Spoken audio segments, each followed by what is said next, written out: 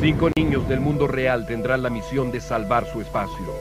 Los digidestinados son Takuya, Koji, JP, Zoe, Tony.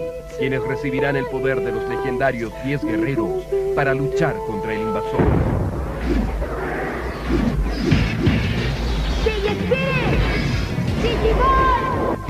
Digimon 4.